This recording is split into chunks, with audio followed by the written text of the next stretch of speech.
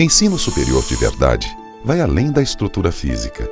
Investir em salas climatizadas, recursos audiovisuais, biblioteca, laboratórios é muito importante na formação acadêmica.